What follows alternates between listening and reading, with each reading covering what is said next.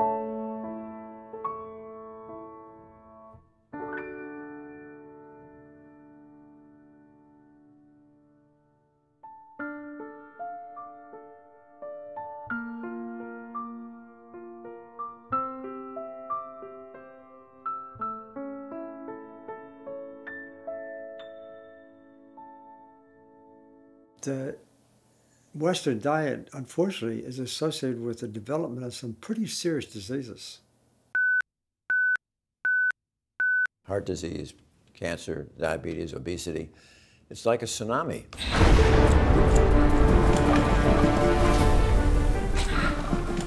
Cardiovascular diseases are the number one cause of death. Around the globe, more than 17 million people die of a heart attack or stroke per year. The number of cancer cases is rising dramatically. One out of every four men and one out of every five women die of cancer. Diabetes has also become an epidemic, and already one out of two Europeans and Americans is overweight.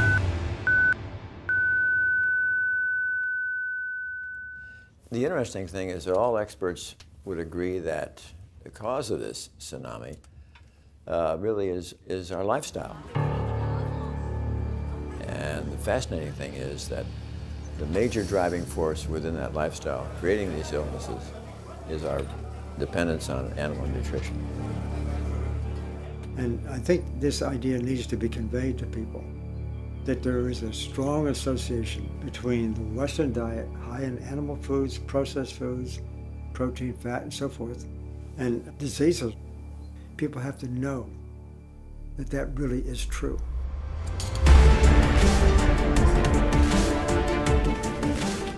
Never before have we been so well informed about nutrition. In theory, in practice, in everyday life, we succumb to mindless cravings. We devour instant meals, gobble cafeteria fare, and stuff our faces with fast food. And practically always contained in these products, meat. Früher war Fleisch das reiche Leute essen. Und der Normalbürger hat es nicht gekriegt. Später hat er es dann einmal die Woche gehabt, Sonntagsbraten. Und jetzt können wir uns das leisten, alle wie die Könige und die Fürsten zu leben. Finanziell können wir es uns leisten, gesundheitlich können wir es uns eh nicht leisten. Despite all warnings, we are eating more and more meat. There is no day without meat, no feast without meat, no break without meat. It's a normal part of our diets because it's tradition, it's cheap, and because it tastes good. My diet for 65 years was the SAD diet, the standard American diet. I ate meat and chicken and fish and fowl and lots of butter and anything that tasted good. In 2010, at the age of 66, Sharon Kintz started to think about her eating habits as the result of a dramatic event.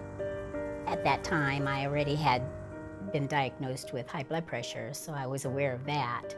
But uh, having a heart attack uh, was a complete surprise to me.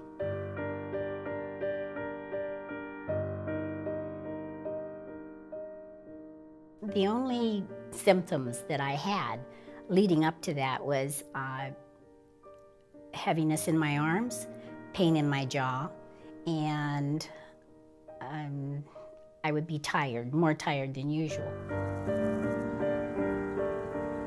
This health nightmare put Sharon Kintz in the intensive care unit.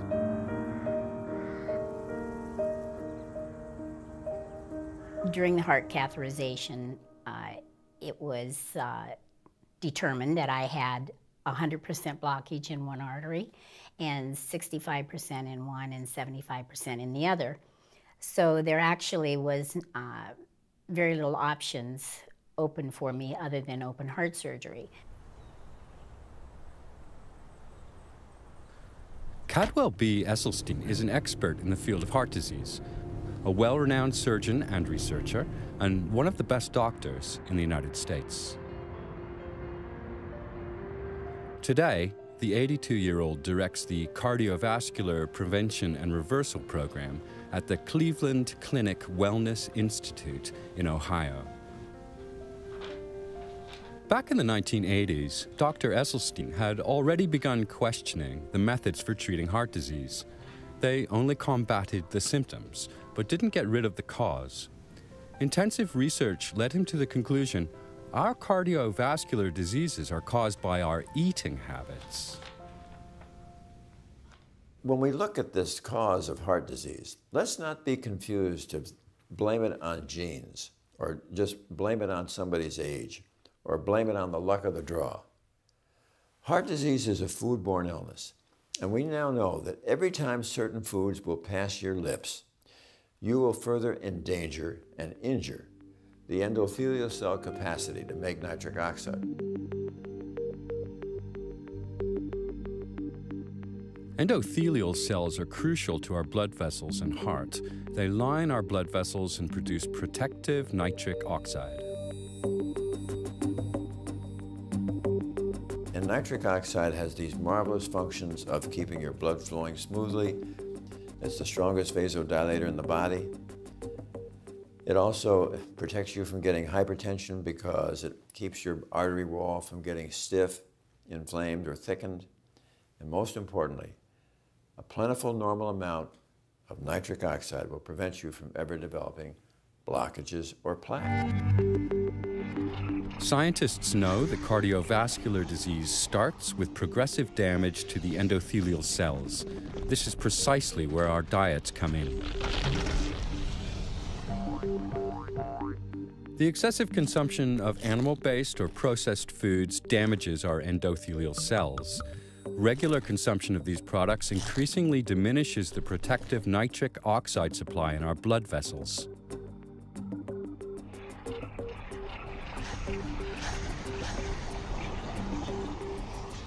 This leads to inflammation and a hardening and narrowing of the blood vessels. These can have life-threatening consequences, like heart attack or stroke, or cause arteriosclerosis.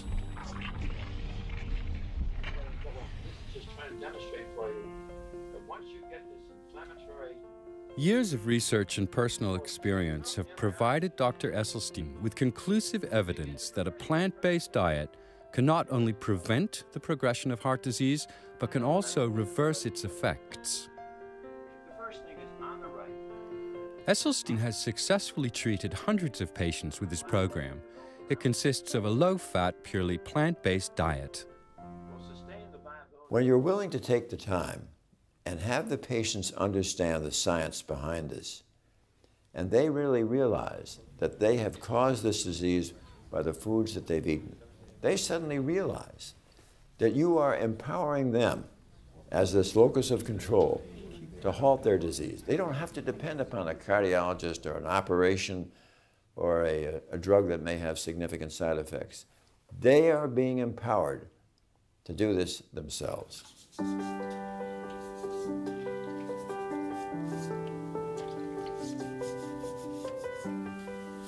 Dr. Esselstyn's help, Sharon Kintz, too, completely restructured her diet, doing away with all animal products. She turned down the heart surgery recommended to her by her doctors. Sharon Kintz decided to use food as medicine.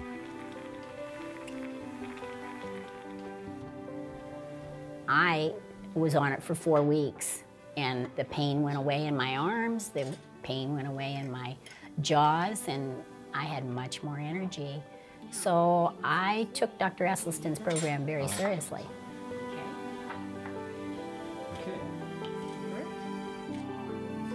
When Sharon Kintz was first diagnosed, she could hardly walk anymore. And nearly two years after her treatment with Dr. Esselstyn, she is physically fit again, and she has fulfilled one of her dreams.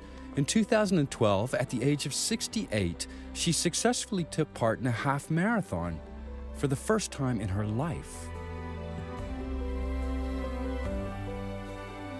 I know people are cramped for time, but you're talking about your health. If you want to live a long, healthy life and be able to contribute something, then you have to take care of your body. In order to do that, you, you have to, in my opinion, eat plant-based.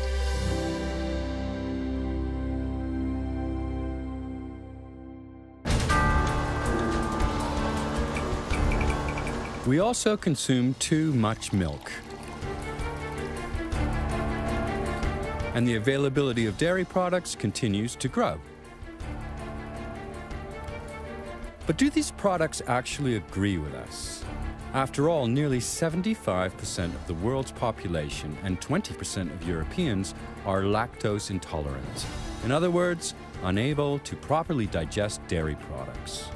Dairy products contain no complex carbohydrates or roughage and very few vitamins. Instead, they are full of saturated fat, cholesterol, and animal protein. When we're young and growing up, everybody wants to try to feed people dairy products and make sure you have milk every day. But the science really now is at a point where that cannot be sustained. There is ample evidence from wonderful investigators like T. Colin Campbell, who clearly showed that casein, which is the major protein in milk, is really one of the strongest promoters of cancer. T. Colin Campbell is a world-renowned nutritional scientist. In a series of experiments, he was able to prove that animal proteins, casein in particular, promote all stages of cancer growth.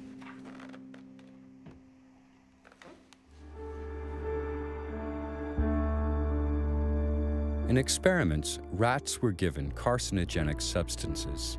Afterwards, half were fed a 5% casein-enriched diet, and the other half 20%. 20% roughly corresponds to the amount consumed in Western diets.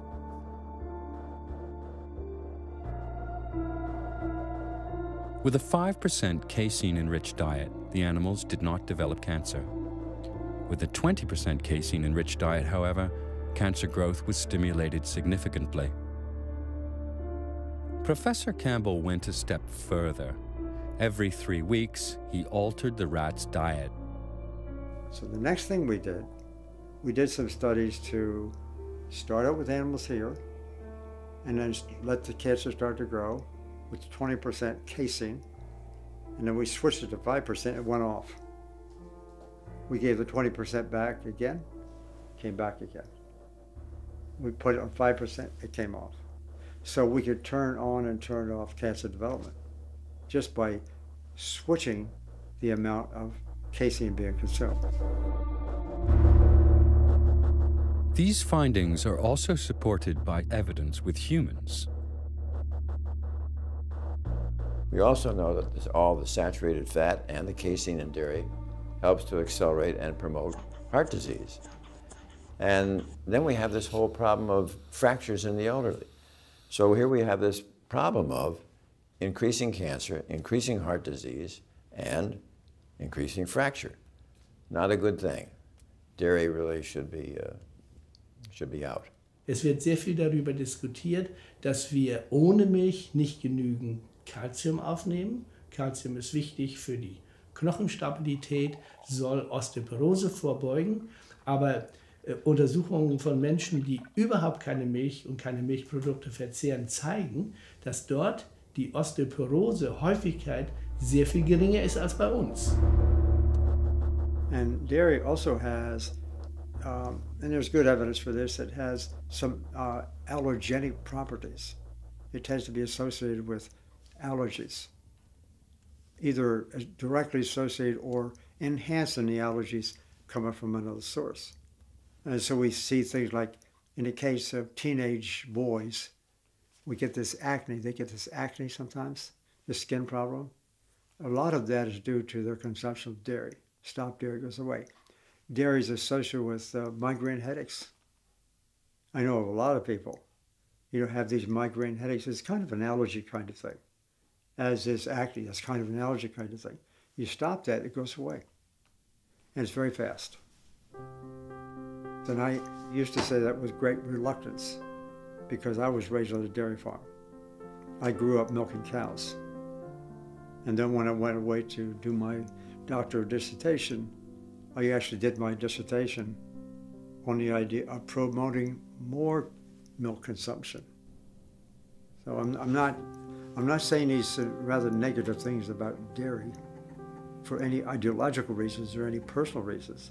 I'm saying it in reference to the evidence, the data. That's what it shows. The excessive consumption of animal products, such as meat, fish, dairy products, and eggs, puts a strain on our bodies. That was also what Frankfurt based physician Lothar Wendt found in his research. Mein Vater Lothar Wendt hat erstmals 1949 das Konzept der sogenannten Eiweißspeicherkrankheiten formuliert. Das haben wir in den Jahren später weiterentwickelt und die Kernthese lautet, dass das zu viel an tierischem Eiweiß in der Ernährung krank macht.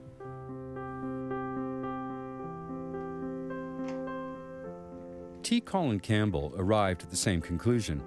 He has been at the cutting edge of nutritional research for more than 40 years, and in the 80s and 90s, he directed the China Cornell Oxford Project, better known as the China Study. This is the most comprehensive nutrition study in the history of biomedical research to date. It confirmed Campbell's theory.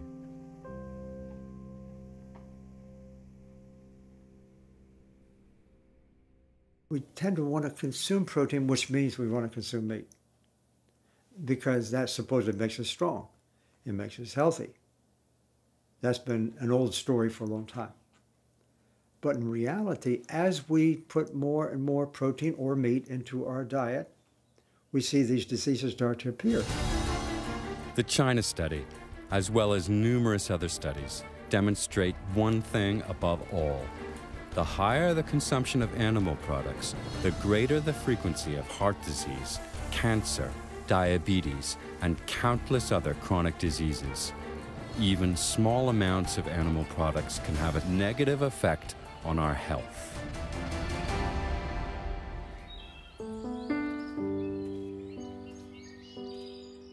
The 53 year old electrical engineer Arthur Soteros also became a victim of his diet excessive amounts of meat, fish, and dairy products.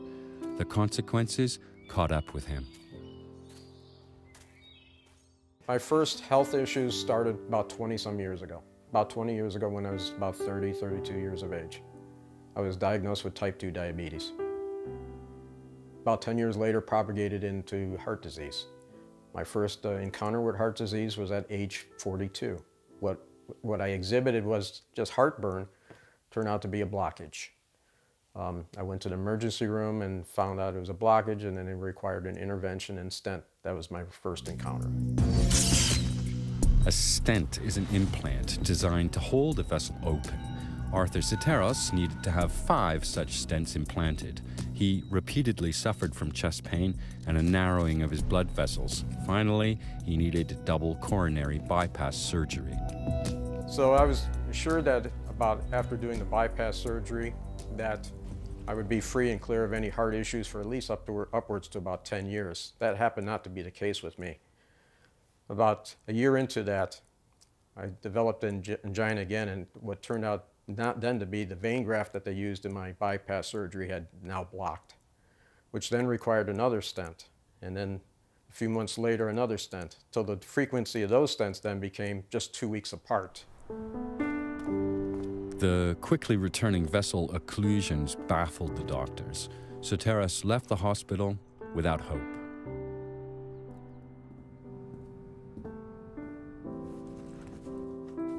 I wept and I cried like a baby because I wasn't ready to die. And I cried out to God for some options. I think God saved my life. I think it was God's mercy and grace that actually gave me options and set my, set my path straight and pointed me in the direction of plant-based.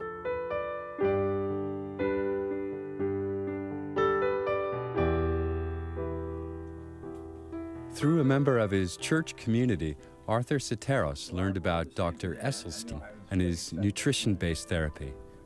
He consulted the doctor, and with his help, he restructured his entire diet.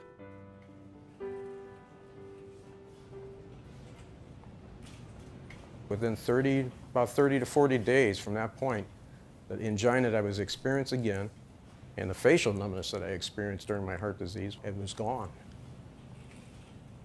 And it was then by following this diet of going plant-based, within about four to, I think it was five months from that point on, when I was doing a follow-up with my cardiologist and family physician who has been monitoring my diabetes, said that my diabetes was gone. And then I followed up at that same time in October of 2010 with my optometrist. The, um, the gla prescription glasses that I was, was wearing they looked at them and said, why was I wearing these things? That all I, all I needed was just reading glasses. So then with the reversal of my diabetes, my eyesight got better. Arthur Soteros' heart condition has disappeared. His blood test results are normal, and he's been able to markedly reduce his medication. He also lost 20 kilograms of excess body weight. I feel better now at age 53 than I did at age 30.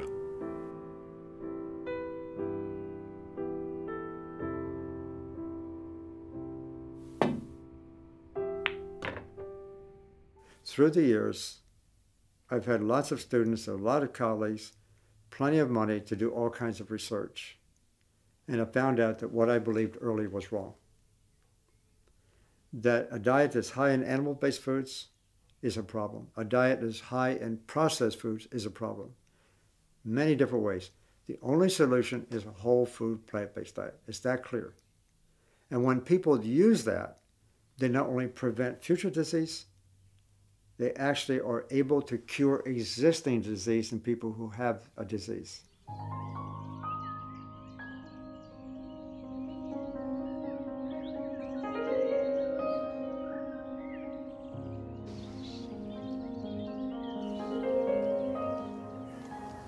Ich erhielt im Dezember 2006 die Diagnose Lungenkrebs im Endstadium. Metastasen hatten sich gebildet, die Lymphknoten waren befallen, der Tumor wurde entfernt, die Lymphknoten ebenfalls. Danach wurde mir eine Chemotherapie empfohlen, die habe ich abgelehnt. Stattdessen habe ich einen Arzt konsultiert, der die Heilung mit pflanzlichen Mitteln bevorzugt. Ich bin seinen Ratschlägen gefolgt und bin heute krebsfrei, weil ich auf den Konsum von tierischen Produkten verzichtet habe und dem Konsum von pflanzlichen Produkten den Vorzug gegeben habe, aber hier in erster Linie den unbehandelten, den naturbelassenen, den Pflanzen, Gemüsen, Obstsorten und anderen Lebensmitteln, welche nicht erhitzt werden und so ein Maximum an Nährstoffen an mich weitergeben konnten. Das ist der Grund, meiner Meinung nach, warum ich heute frei von Krebs bin.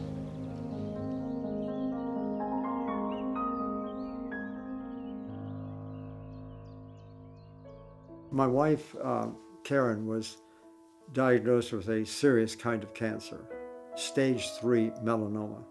She refused to take the chemotherapy. She refused to have the, the uh, surgery. Then she got really strict about her diet. Now it's about nine years later. No problem.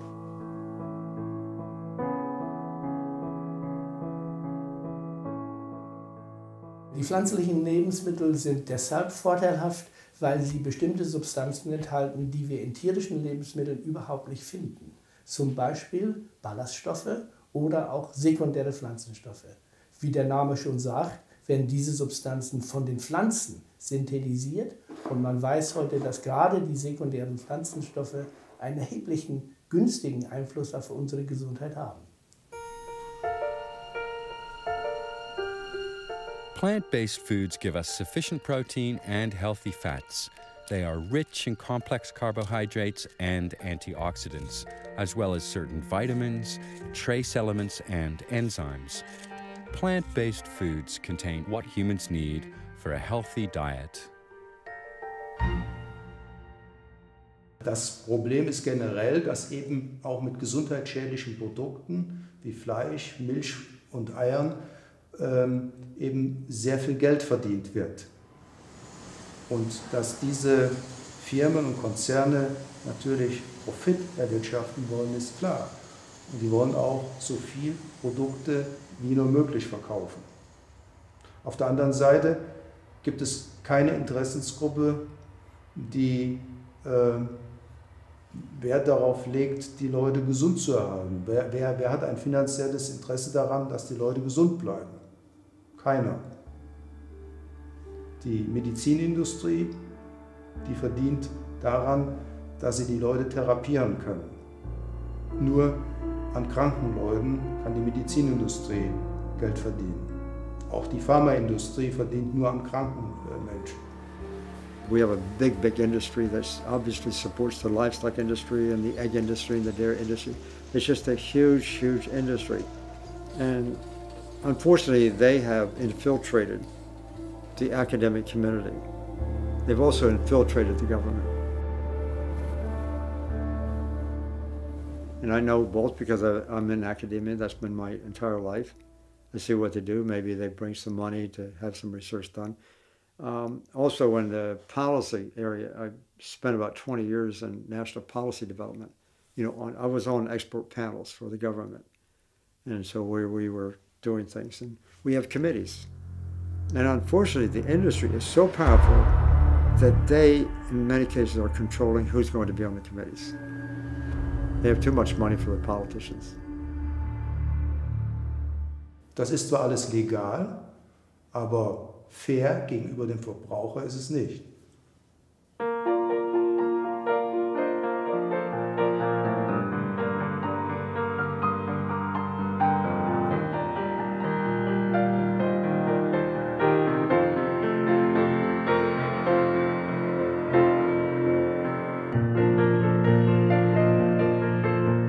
Actually raised eating the typical diet, and when I was about 22 years old, I became a vegetarian.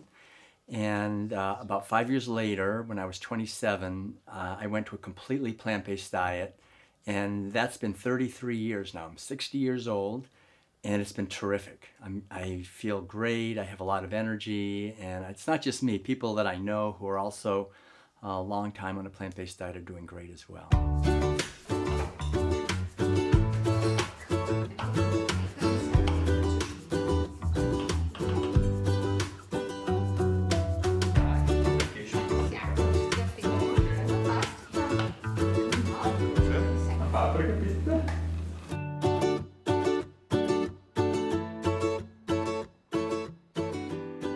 Seismic revolution in health is just not ever going to occur from inventing another pill or a drug. It's not going to come from inventing another procedure or an operation. But the seismic revolution in health can come about when those of us in the healing profession are able to share with the public what is the lifestyle that would protect them from these chronic, common, killing diseases. And the way we do that really was be at the top of the list is to show them about plant-based nutrition.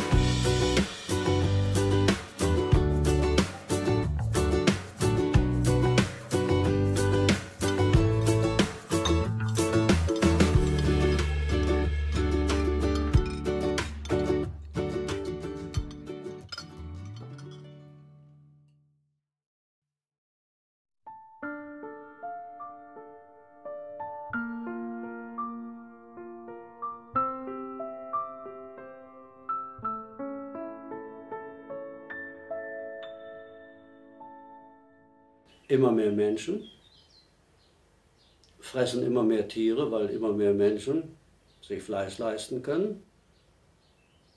Und in 20 Jahren werden wir so viele Menschen und so viele Tiere auf dem Planeten Erde sein, dass nicht mehr genug Futter da ist.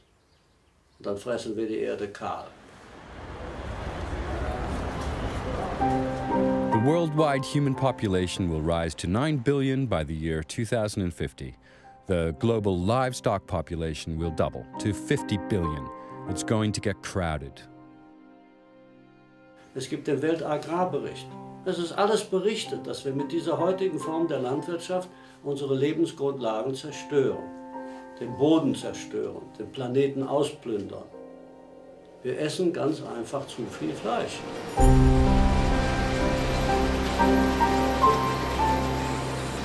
The growing consumption of meat accelerates climate change and species extinction. It damages the soil, water, and air, and it spurs global starvation. Appetizing, vacuum packed portions of meat suggest none of this.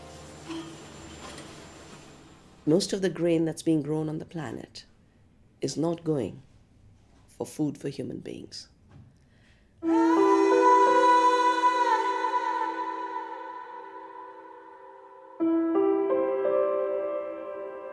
We're growing plenty of food to feed everyone. The problem is we're feeding most of that grain and the legumes, like soybeans, to animals while people are starving.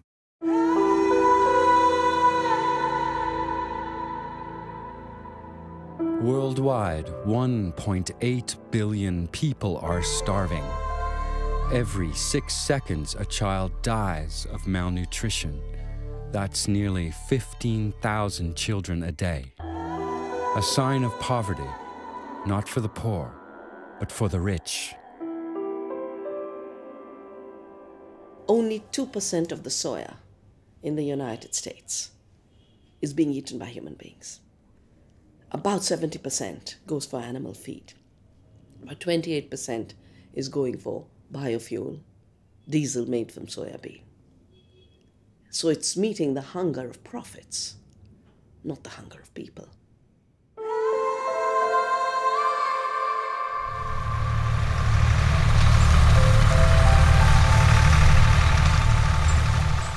Corn, about 10% of the corn in the world is being eaten by humans. Most of it is going to torture animals. I don't say feed animals because animals did not want to be fed with grain. It doesn't suit their digestive system. So we're talking about a system that is creating hunger on the planet in the name of feeding people.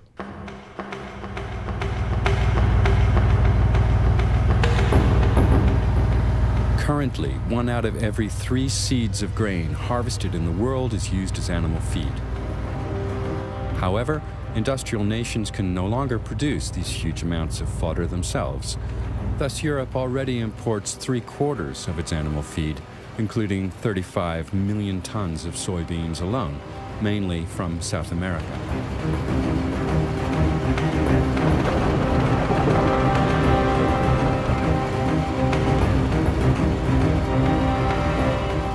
The land used for growing this feed does not consist of empty fields, but valuable rainforests forced to yield to the monocultures of the agricultural corporations.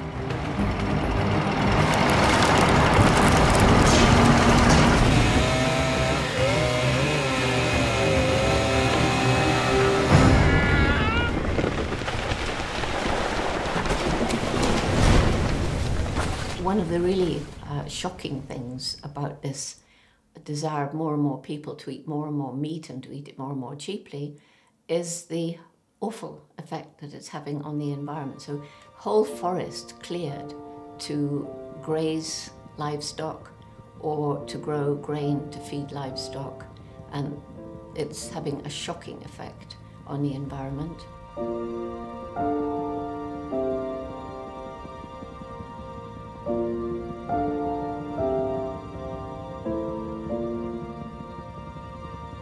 Because of this practice, over the past two decades, roughly 20% of the worldwide largest rainforests in the Amazon basin have been destroyed forever.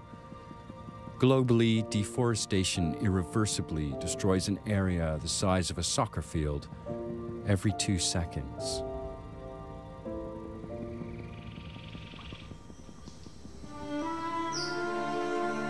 And this, although tropical rainforests are among the Earth's most valuable treasures.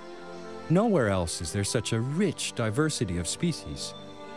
Moreover, these forests stabilize the world's climate as enormous reservoirs of carbon dioxide. That makes them more valuable than meat.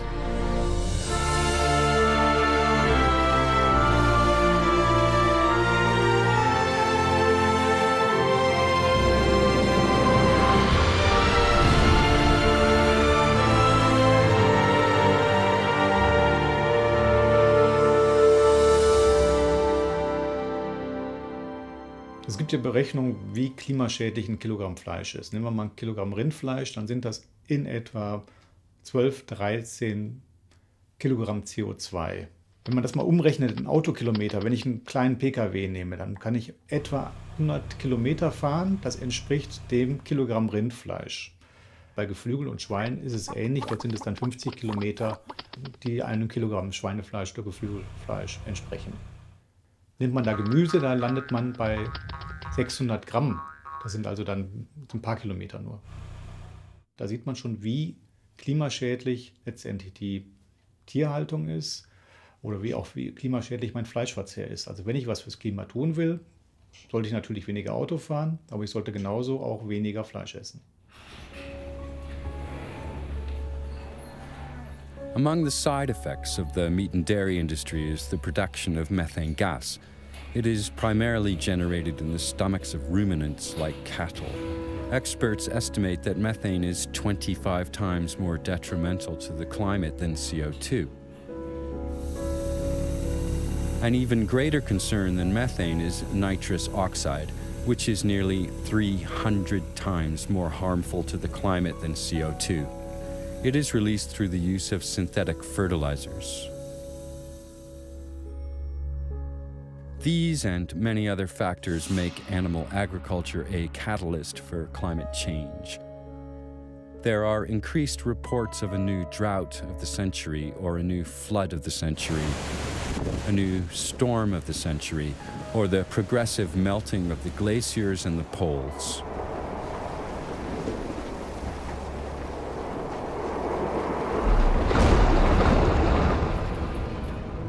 Intensive animal farming doesn't just stink to high heaven, the excrement produced is also polluting our soil. For each kilogram of meat produced, roughly six kilograms of slurry are generated. Among other things, slurry releases ammonia, which poisons the surrounding air and causes long term damage to the soil.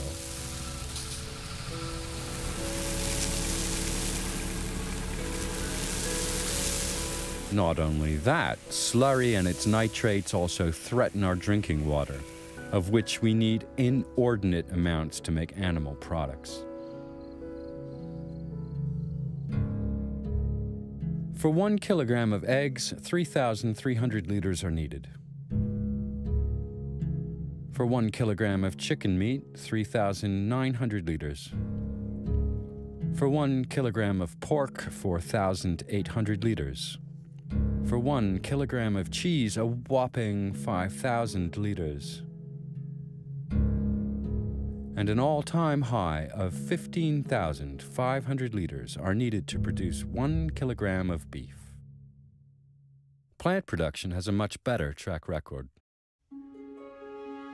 Cultivating one kilogram of grain requires 1,300 liters of water.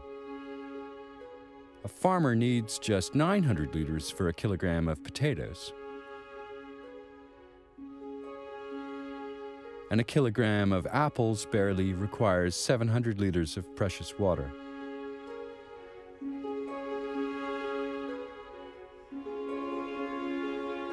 This entire meat industry has today become a scandal on the planet. It should not exist in the form in which it exists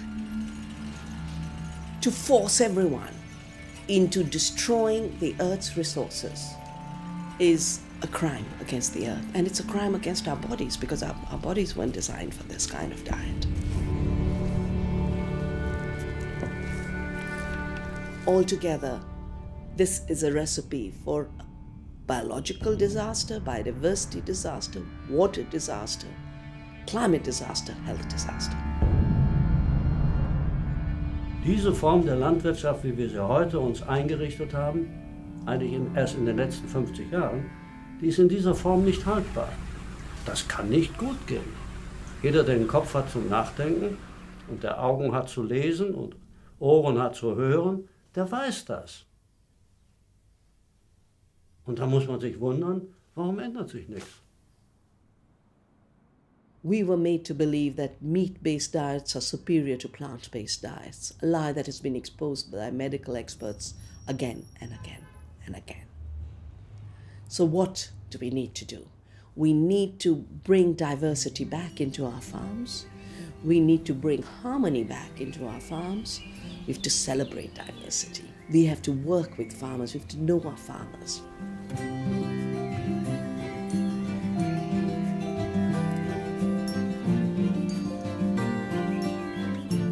To start realizing food is what keeps the world going. Food is the energy of the world. And we have to know exactly where in that chain we entered so that we don't do more harm. We reduce the harm. And in the process, we celebrate. Food is life, and life is food.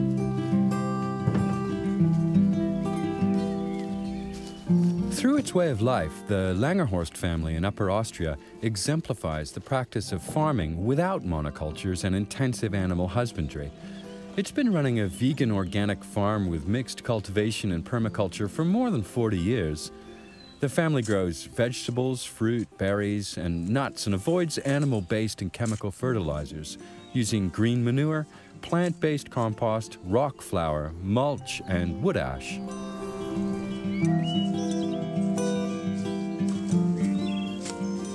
Die pflanzliche Landwirtschaft hat uns gezeigt, dass wir auch von einem kleinen Hof anstatt von einem großen Hof leben können. Wir bewirtschaften nur dreieinhalb Hektar und davon leben wir im Vollerwerb und sind wirklich sehr dankbar, dass dies möglich und auch praktikabel ist.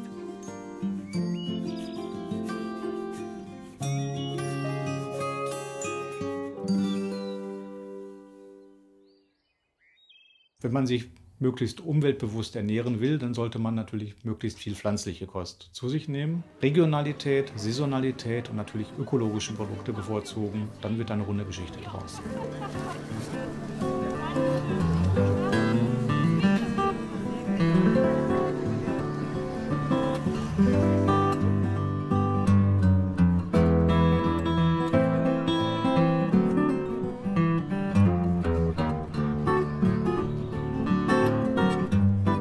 Nature shows us how to solve our problems, our personal problems and the ones that involve the whole world.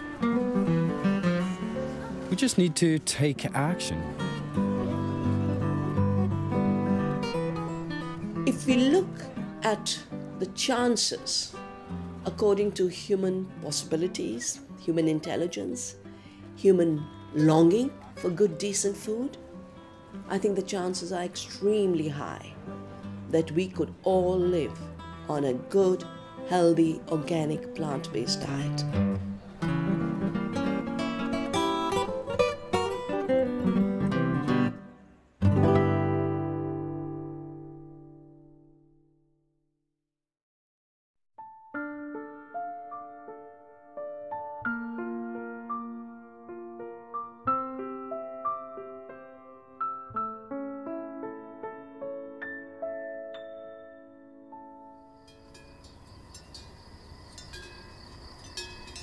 We love the notion of romantic rural life. Happy animals in a healthy environment, well provided for by Mother Nature. It's really quite tempting to get this meat on your plate. But let's face reality.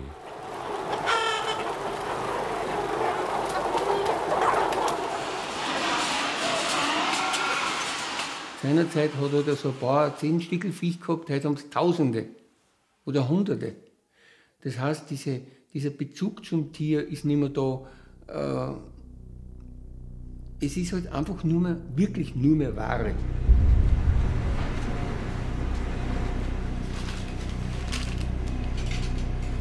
Meat is less expensive today than ever before. a cheap product. About 98% comes from factory farms, where conditions are beyond imagination. Rarely in the past has the term industry smacked of a contempt for life as it does today. In der intensiven agrarindustriellen Haltung werden die Tiere nicht mehr als Individuen gesehen, sondern als bloße Produktionsmittel gleichsam wie Blechdosen, Autoersatzteile oder lediglich als Gebrauchsartikel mit dem Ziel höchstmöglichen ökonomischen, sprich wirtschaftlichen Gewinns. Chickens are by nature social, curious, and intelligent animals. But in the merciless factory farm, their lives are reduced to short and joyless agony. Chicks hatch not in the maternal nest, but in the incubator. As soon as they can stand, they are sorted, vaccinated, packed up, and sent to enormous feedlots.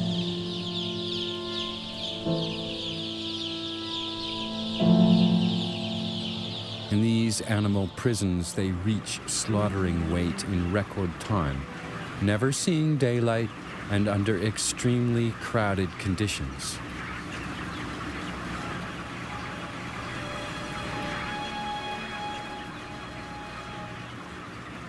The normal life expectancy of a chicken is 20 years. Broilers only live up to 42 days.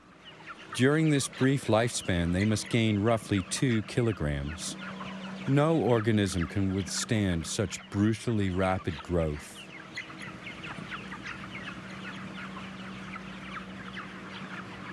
Die Tiere nehmen so schnell an Gewicht zu, dass also die Entwicklung des Skeletts gar nicht mitkommen kann und liegen dann also sowohl die Masthühner wie auch die Mastputen am Ende der Mast äh, fast nur noch auf ihrer eigenen Brust, weil die Gliedmaßen das zunehmende Gewicht nicht mehr halten können.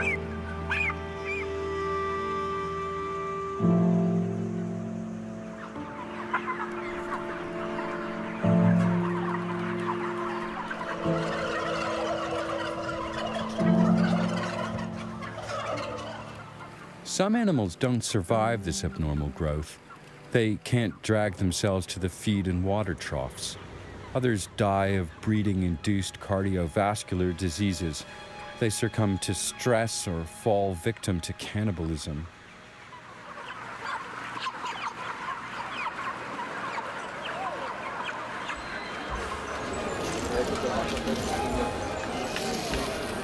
These are facts we are often not aware of when eating meat and which the meat lobby is glad to keep concealed.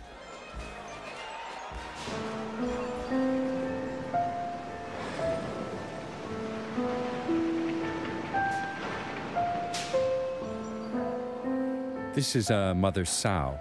This highly intelligent and extremely sensitive animal spends most of its life in crates in cages hardly any larger than themselves. Instead of straw, they lie on bare concrete. Sie sind bewegungsmäßig derartig eingeschränkt in sogenannten Käfigen, dass sie nur 20, 30 Zentimeter vor und äh, 30, 40 Zentimeter zurück sich bewegen können, sich zwar hinlegen können, aber ansonsten sich nicht drehen können. Die äh, Äh, äh, Sauen in der modernen Schweinehaltung sind die ärmsten Schweine im wahrsten Sinne des Wortes.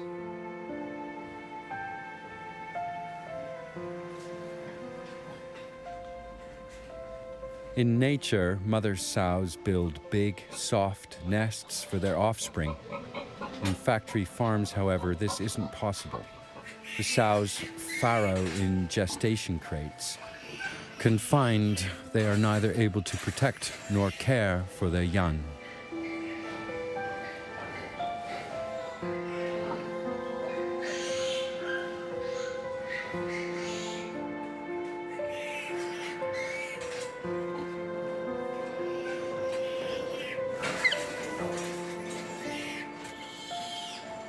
Not long after birth, the piglet's tails are docked as a precaution against cannibalism. In addition, male piglets are castrated by ripping out their testicles. Everything without pain relief because an object's pain doesn't matter.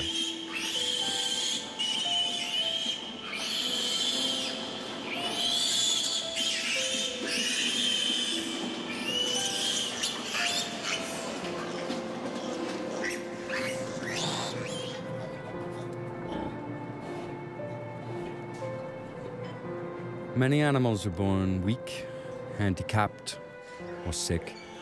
It is not economical to keep them alive. Their fate, an undignified and cold death.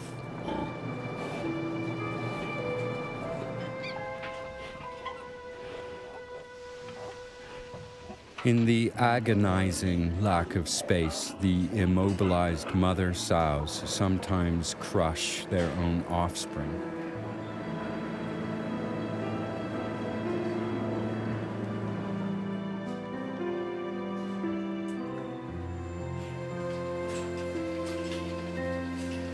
At the age of three weeks, the piglets are separated from their mother.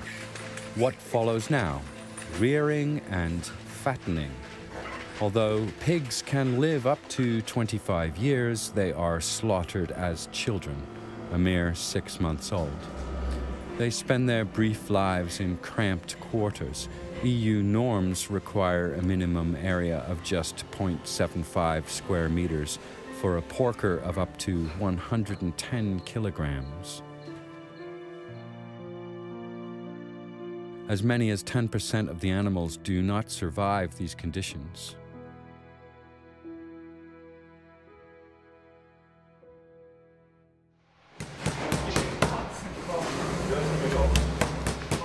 In spite of this, only a few people are willing to do without a pork chop or a schnitzel.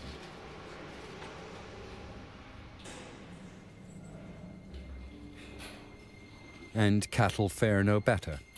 Many animals spend their lives in narrow stalls, the lucky ones in open pens. Many, however, vegetate in tether stalls.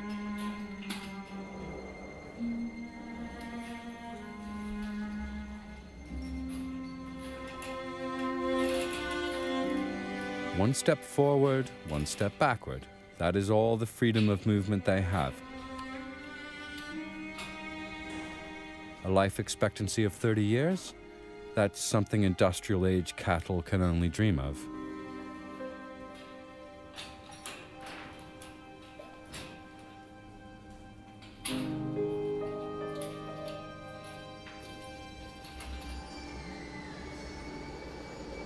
Heutzutage gibt es also riesen, riesen Herden und die werden immer größer und da merkt kein Mensch mehr, wenn eine Kuh krank ist. Das merkt dann meistens nur noch der Milchroboter, der dann auch feststellt, dass die Milchleistung zurückgeht oder die andere Maschine merkt dann, dass nicht, das Futter nicht aufgefressen worden ist und so wird überhaupt äh, nur noch äh, registriert, dass ein Tier oder mehrere Tiere krank sind.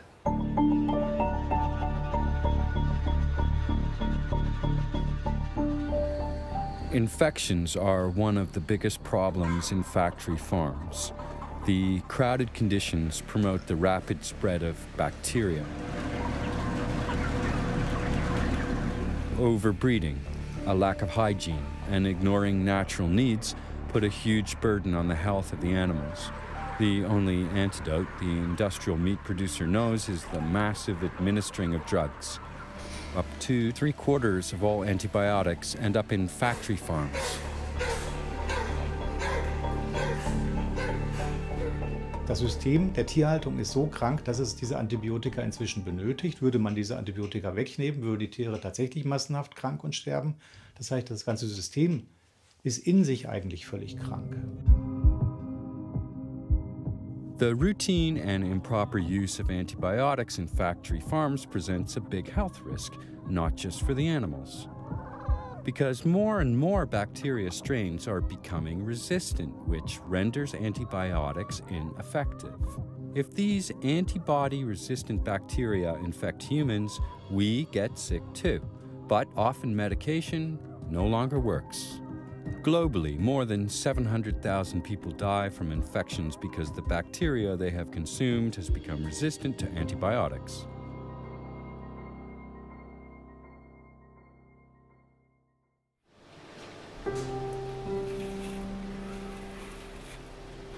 But the animals are not only affected physically, industrial farming harms them on all levels.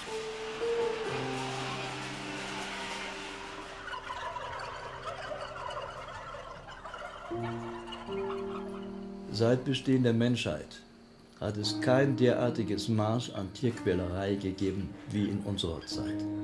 Das gilt sowohl für die Quantität wie auch für die Intensität.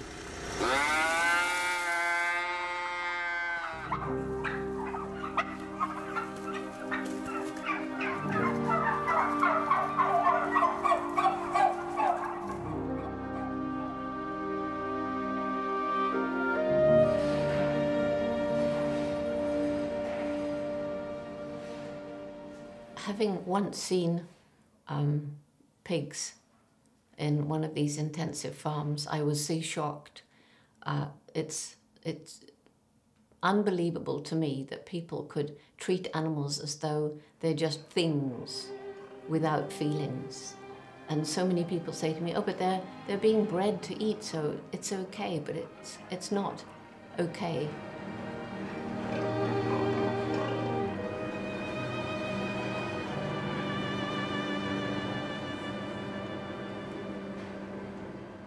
There's a lot of animal abuse in research, in education, in circuses and rodeos and zoos, but factory farming is the worst. If you summed up all the pain that we cause animals, the pain and suffering from industrial food preparation is far greater than all of the pain in any other venue combined. So it's really the worst. It's, it brings out the worst in human beings and it makes animals suffer greatly. They, they not only suffer their own pain, but they also feel the pain of other animals at these horrible factory farms.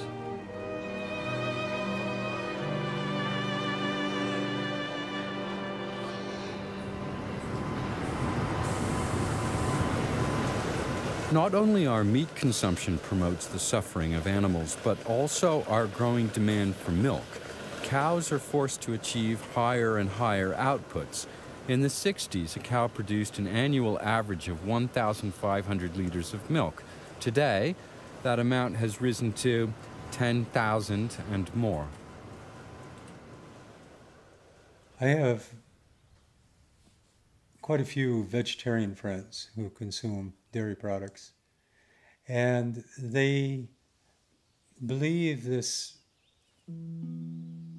false idea that mm. there that dairy products are a benign animal mm. product, that there's no harm connected to milk because they figure, well, once a cow starts giving milk, she just gives milk. And they don't realize that cows can't give adequate amount of milk for production unless they're pregnant. And cows have the same gestation period as humans, nine months. They're pregnant nine months, give birth. Within 24 hours, maximum 72 hours, you take the calf away from the cow because you need the milk for production.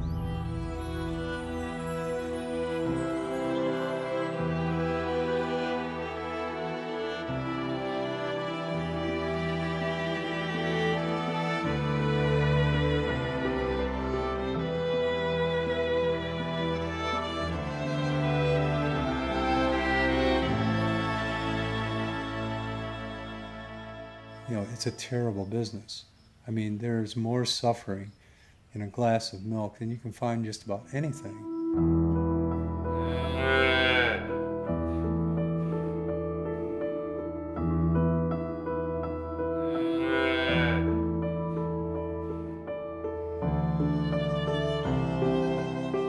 The calves will, you know, bawl and bawl and bawl. The the cows will just they'll look for them Cows will often mourn their children for days or weeks.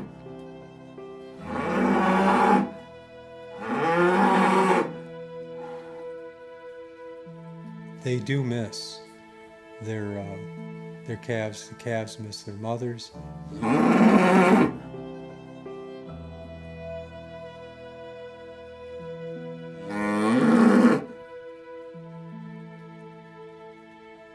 It's really, it's a heartbreaking thing to watch.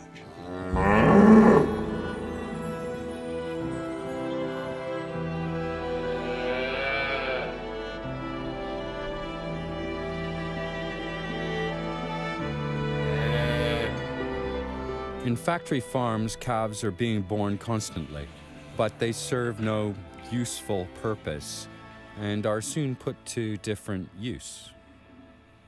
Let's say a cow is alive for four years. She'll have four calves. Just genetic roulette. Two are going to be male, two are going to be female. The two males have no use to the dairy industry. They're going to go to auction within a day to two or three days after birth. You only need one female to replace the mom. So three out of four calves go to slaughter right after they're born.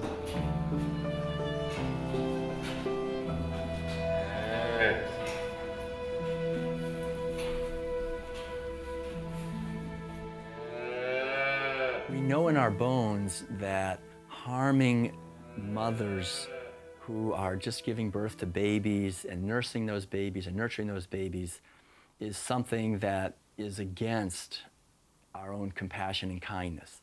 And so when we're eating animal foods, eating dairy products, that's exactly what we're doing. We're, we're paying people to impregnate animals, steal their babies, steal their milk, and then kill them.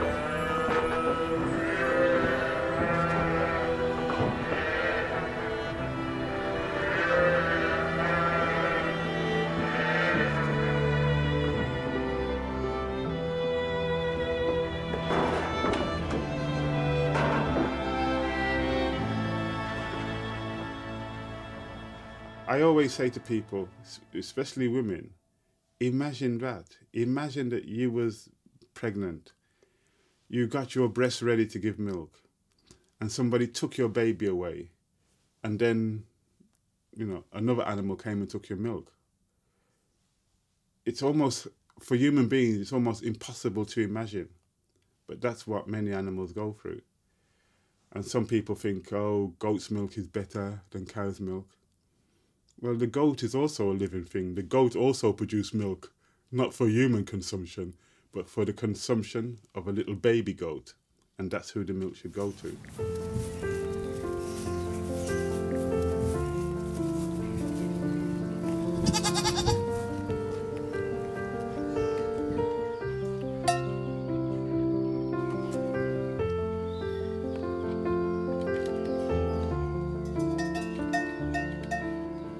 People wonder whether animals, including farm animals, have emotional lives, and the science tells us that they do. If people read and understand what Charles Darwin had to say about evolution, he said that the differences among species are shades of gray, not black and white. So if we have something, then they have it too, they being other animals. So the science tells us that Many animals, including farm animals, have very rich and deep emotional lives.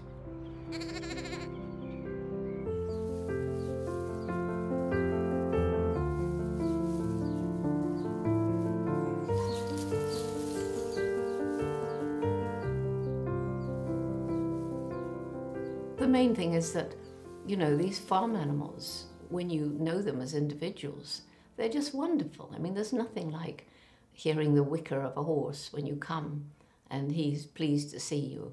And the cows chewing the cud and the, the sweet breath that they have out in the fields. And pigs, well, pigs are as intelligent as dogs and more intelligent than most. And uh, when I was a little girl, I used to want to have a little troop of pigs and train them and go to a circus. Well, now I know circuses are bad, but when I was a little girl, you know, pigs are amazing, just incredible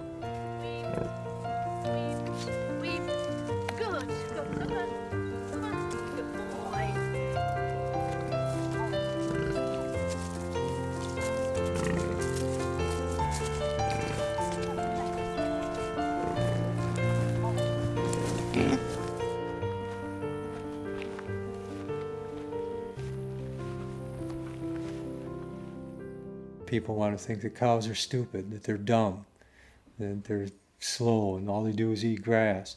No, they have community, they have social structures, they babysit for each other, they, they uh, mourn for the loss of loved ones.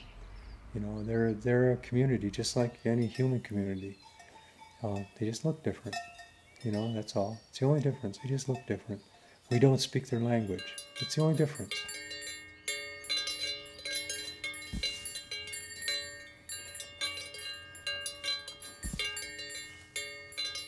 We know, for example, that chickens display empathy.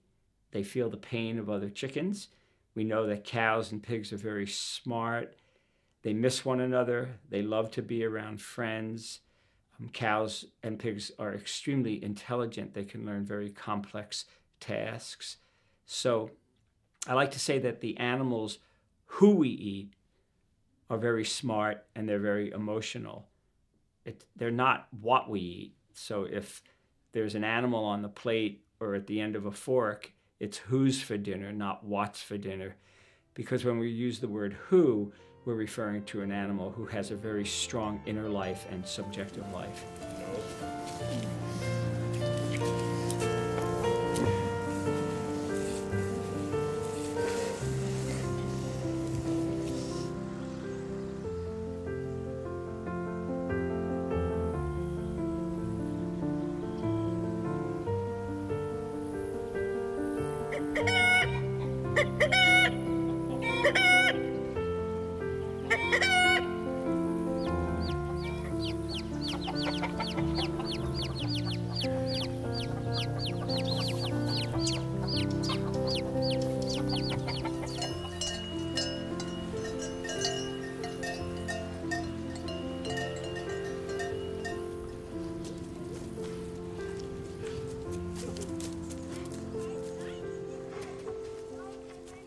Example, when pigs and cows and dogs and cats and wolves play, it's very clear that they enjoy themselves, that they're feeling happiness, they're feeling very gleeful, they're feeling a lot of pleasure.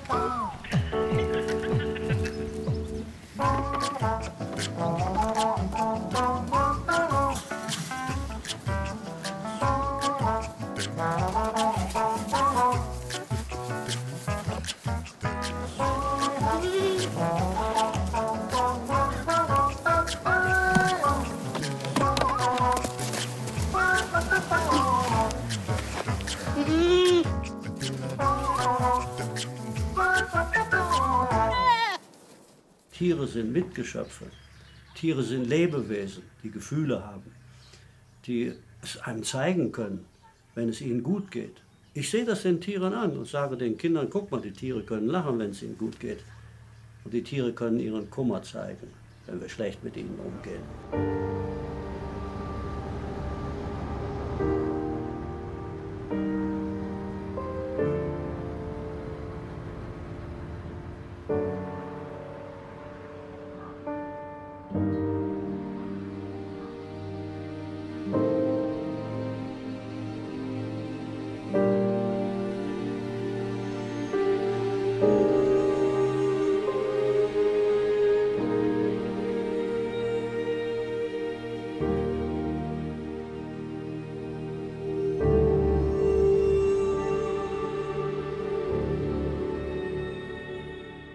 Kein Tier geht freiwillig auf dem LKW.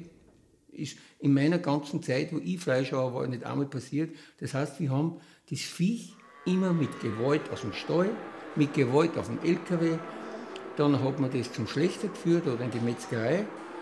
Und Sie müssen sich vorstellen, das sind LKWs, da sind, heute bis 100 Stück um, auf absolut engstem Raum.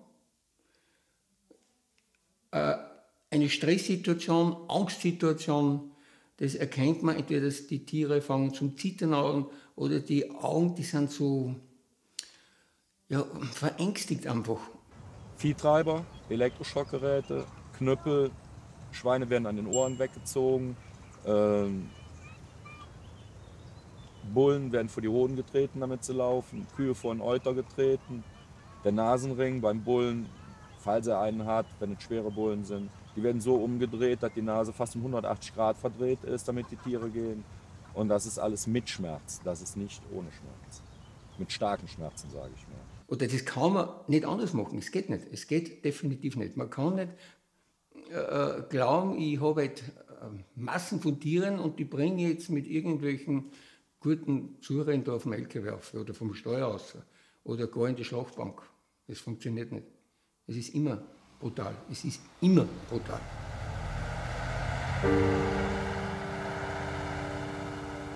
Everyone is aware that animals have to die if we want to eat meat, but very few want to know what actually takes place in a slaughterhouse. Slaughterhouses have their reasons for not welcoming visitors. In large industrial slaughterhouses, pigs are often stunned by machine. An electric shock triggers a kind of epileptic attack. This leads to unconsciousness. In smaller operations, stunning by electric current is generally done by hand before the animals are suspended from a conveyor and their throats slashed.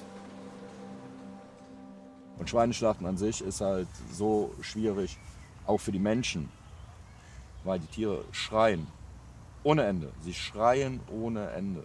Das hört sich an, ich habe früher immer gesagt, als wenn kleine Kinder schreien. Warum schreien kleine Kinder? Weil sie Angst haben. Bei den Tieren ist das nicht anders.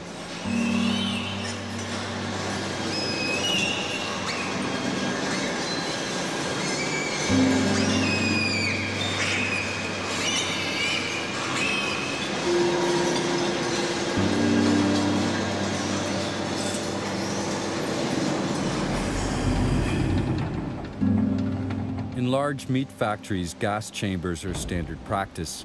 The pigs are herded into a gondola and lowered into a chamber where they are gassed with a mixture of carbon dioxide and air, leaving them unconscious.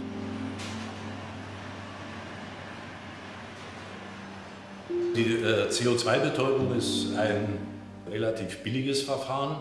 Äh, es hat den Vorteil, äh, wie andere Gasbetäubungsverfahren auch, dass mehrere Tiere gleichzeitig betäubt werden können. Man muss also die Gruppe nicht auseinanderreißen. Äh, der äh, deutliche Nachteil des CO2 ist es allerdings, äh, dass ähm, die Tiere doch ein Erstickungsgefühl über doch einen ganz erheblichen Zeitraum haben von 15 bis 20 Sekunden. Also ein Gefühl der deutlichen Atemnot. Die Tiere streben oft nach oben, man hört Lautäußerungen, sie schreien.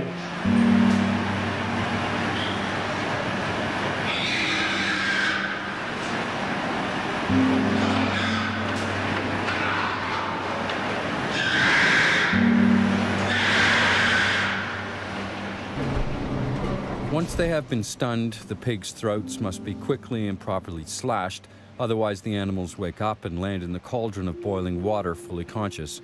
This is no uncommon occurrence since the whole process takes place so quickly. Zur Problematik der Schlachtgeschwindigkeit äh, muss man sicher noch anmerken, äh, dass bei einem Tempo von beispielsweise 750 Schweinen in der Stunde äh, der Mensch, der die Schweine absticht, also der sogenannte Stecher, äh, ziemlich genau fünf Sekunden Zeit hat, äh, dieses Messer in den Hals äh, der Tiere einzustechen. Dazu muss er das Schwein aber erst auch noch greifen, an einem Vorderbein sozusagen in Position ziehen. Er muss das Messer aus der Alterung entnehmen und dann sind diese fünf Sekunden auch schon gleich vorbei. Das heißt, er hat gar keine Möglichkeit, einen Stich in irgendeiner Weise zu korrigieren, wenn er der Meinung ist, er hat keine großen Gefäße erwischt oder er hat große Gefäße äh, verfehlt. Das heißt, ähm, das ist äh, sicher ein Problem für die Effektivität der Entblutung. Ich habe sehr oft gesehen, wie Tiere nicht richtig betäubt waren. Schweine, die aus dem Brühkessel geflogen sind oder gesprungen sind, versucht haben rauszukommen, wo ein Kopfschlechter hingegangen ist und hat äh, mit einer Eisenstange äh, nochmal draufgehauen. Äh, das ist eigentlich Standard, das ist, das ist, ist völlig normal.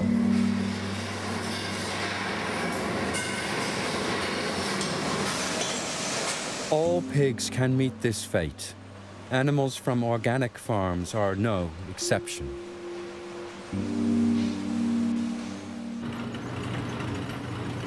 Once it is cut into pieces, the animal has finally endured all the agony the industry has to offer.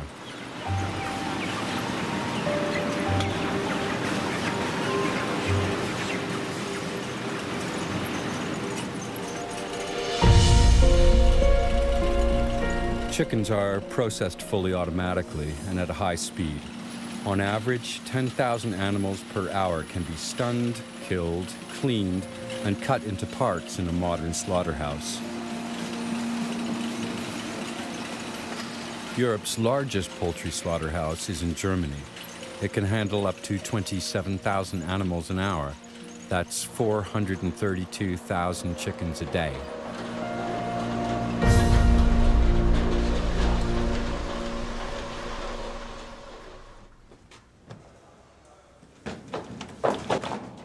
Slaughter of cattle starts with a captive bolt stunner, which has been standard procedure for decades.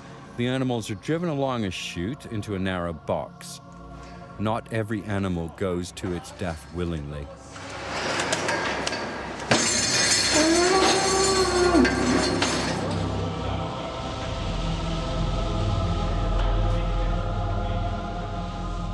In dieser Betäubungsfalle werden die Tiere mit einem sogenannten Bolzenschussgerät geschossen. Das heißt, es äh, ist ein äh, Bolzen, der die Schädeldecke durchdringt und äh, das Hirn partiell zerstört. Und die Tiere brechen dann in der Regel sofort zusammen und sind also in Sekundenbruchteilen bewusstlos. Problematisch ist es, wenn der Schuss eben nicht richtig sitzt, wenn die Bolzenschussgeräte nicht richtig angesetzt werden können oder das Tier im letzten Moment den Kopf bewegt. Äh, dann haben wir sogenannte Fehlschüsse. Die Tiere sind entweder nur leicht oder gar nicht betäubt.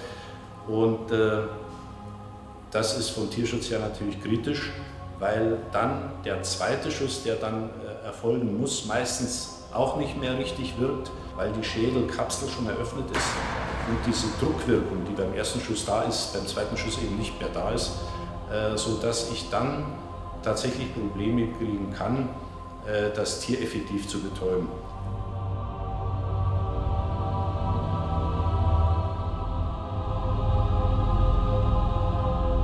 Warum muss man denn die Menschheit, den Konsumenten vom Schlachten äh, wegsperren? Und es so richtig wäre. Warum denn? Bei keiner Käseproduktion muss er wegschauen. Bei jedem Bäcker gibt es halt Schaubäckereien.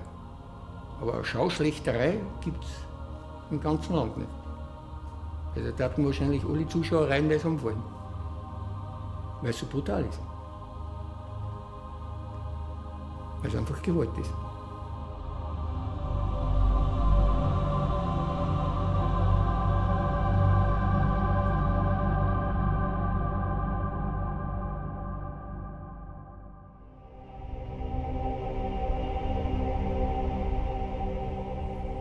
Irgendwo kommt man dann an die Grenze, wo man dann sagt, man macht weiter oder man macht nicht weiter. Bei mir war die Grenze halt wirklich, wir mussten Kälber schlachten und das hat sich schon gestreut beim Reinkommen. Und äh, ja, da sollte ich das schießen, als es drin war. Dann rollte dem eine Träne aus dem Auge. Und dann habe ich das, den Schussapparat in der Luft abgeschossen. Habe gesagt, das wart. Bin an meinem Chef vorbei, Ölstoff, der Schussapparat in die Hand gedrückt und habe gesagt, das wart jetzt soll meine Papiere nach Hause schicken ich war nichts anderes als der Auftragskiller, Auftrags oder der Söldner für, für alle die, die Fleisch essen, war ich der Söldner. Das heißt, ich habe Geld kassiert, für das bringe ich die um, bringe ich Viech um. Und wenn mir das bewusst worden ist, habe ich aufgehört.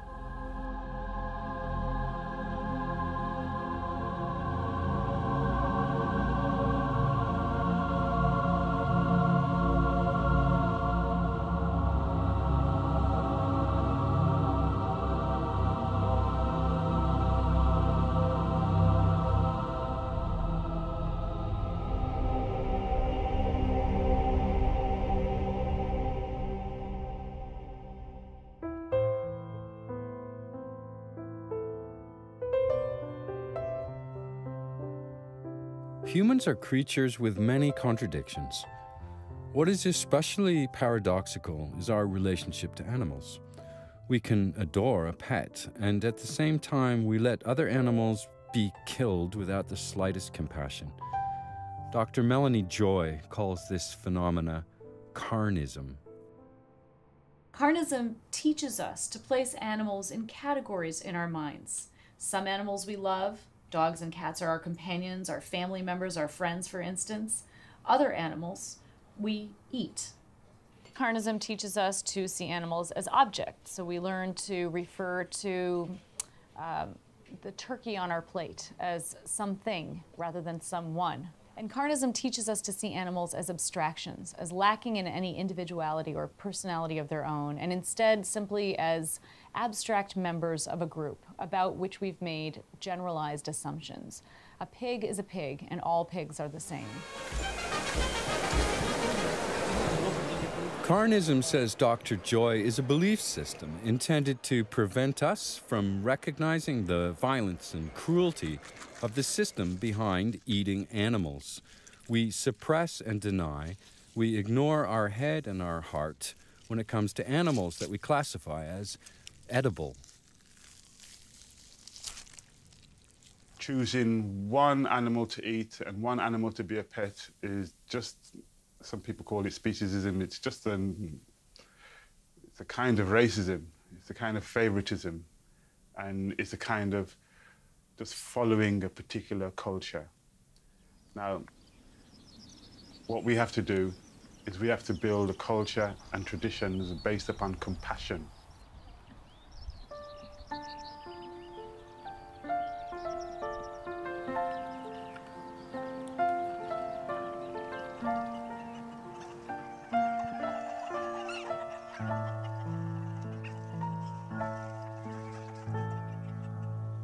Highest form of living, the highest value, is compassion. And when there is compassion, we mac- maximize well being. After all, the word wealth comes from well being. It did not mean money in the hands of a few, it meant well being shared across life spectrum.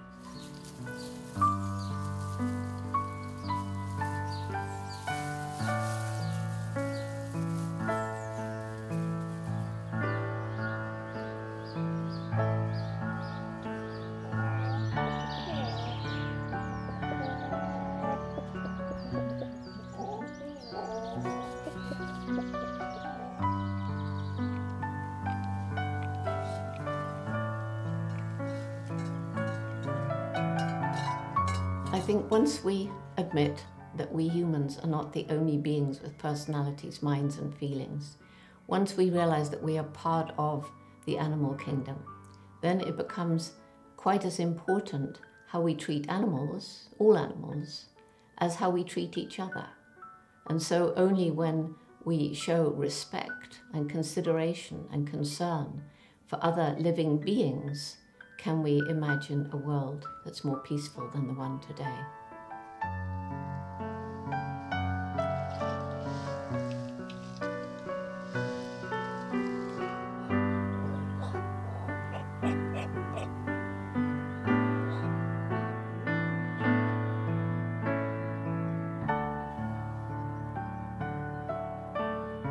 We are at a threshold where across the world people are seeking the liberation of life from this stranglehold of objectification, the view that the earth is dead matter and our beings are just objects.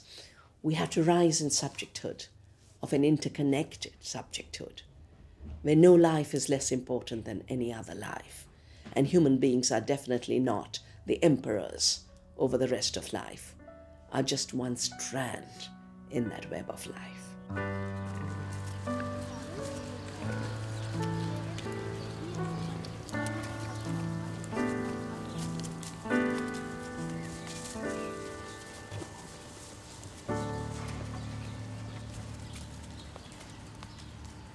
I think the reason that so many people don't change their behavior is because they feel, what's the use? I'm just one person, so what I do actually can't make any difference. And nor would it make any difference if it was just one.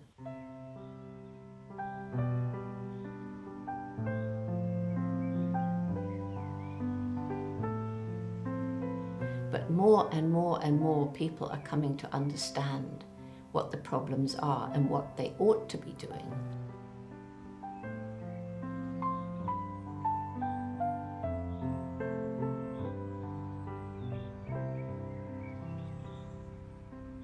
Never ever think that one person can make a difference. We tend to focus our energies on looking for leaders, say like Martin Luther King or Mahatma Gandhi. But they were just one person. They didn't set out in life to be a leader, and they were very humble people. Um, it's just that circumstances in history drew them to the front. But if we're looking for leaders, all we have to do is go home and look in the mirror because each one of us can make a difference. And we do. It's just making a conscious decision that we are going to make a difference in our lives. We're not on this planet for a long time.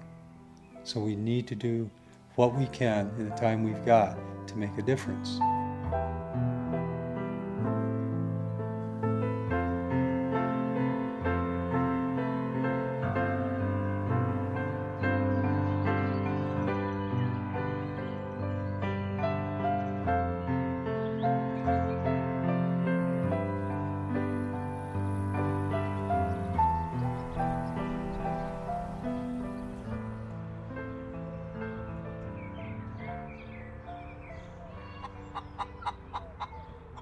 Für mich war es immer wichtig zu betonen, dass wir äh, als Erwachsene alle Vorbilder sind. Diese Vorbildfunktion können wir uns nicht aussuchen. Wir können nicht sagen, ich will gar kein Vorbild sein, sondern wir werden als Vorbild genommen, sei es von Kindern, sei es von Verwandten, von Kollegen oder von Sportsfreunden. Und ich glaube, diese Tatsache, dass wir als Vorbild genommen werden, sollte uns dazu motivieren, dass wir uns auch vorbildlich verhalten.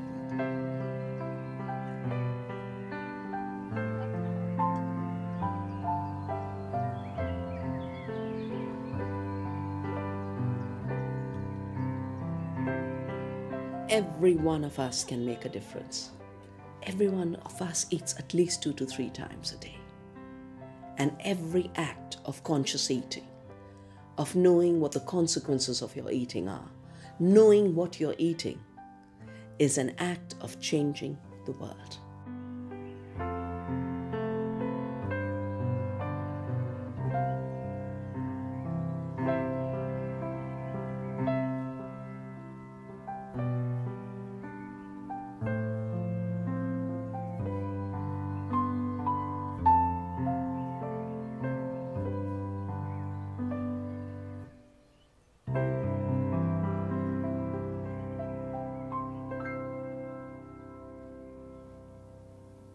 Think the most important message that I have is to remember that you, and I'm speaking to you watching this film, you make a difference. You as an individual make a difference. What you do each day actually is affecting what's going on in the world each day.